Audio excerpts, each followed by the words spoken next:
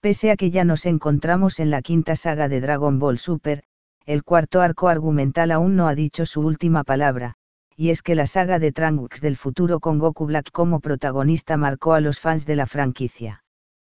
Por ello, este villano sigue teniéndose muy en cuenta en los productos del país del sol naciente.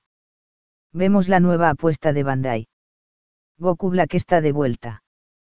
Y no solo hará acto de presencia en su estado base, sino que también lo podremos disfrutar en Super Saiyan Rose.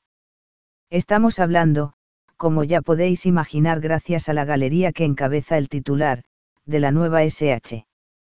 Figuarts de Bandai, la cual estará centrada en este malvado adversario. ¿Os ha gustado el acabado de la figura?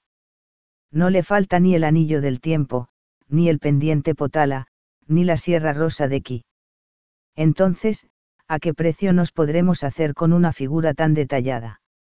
Por algo más de 6.000 yenes puede ser tuya, unos 53 doulas al cambio. Como veis, el pasado 22 de septiembre se abrieron las reservas de la figura, pero no se lanzará al mercado hasta marzo del año que viene. ¿Te harás con ella? Esperamos que os haya gustado esta nueva figura de Goku Black. Por nuestra parte, nos despedimos hasta en una hora, en el que publicaremos el análisis del episodio 112 de Dragon Ball Super, como todos los domingos.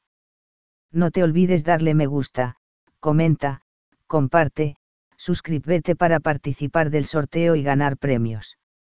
Y sígueme en mis redes sociales. Y únete a nuestro grupo de WhatsApp. Si deseas que te mandemos un saludo en las siguientes noticias comparte los vídeos y los cinco primeros saldrán en el próximo vídeo, Gracias por ver y que tengas un hermoso día. Hola, mi nombre es Xiomara, y puedes contactar conmigo en mis redes sociales que dejo en la descripción. Hola. Mi nombre es Alessandro. Y puedes contactar conmigo en mis redes sociales que están en la descripción.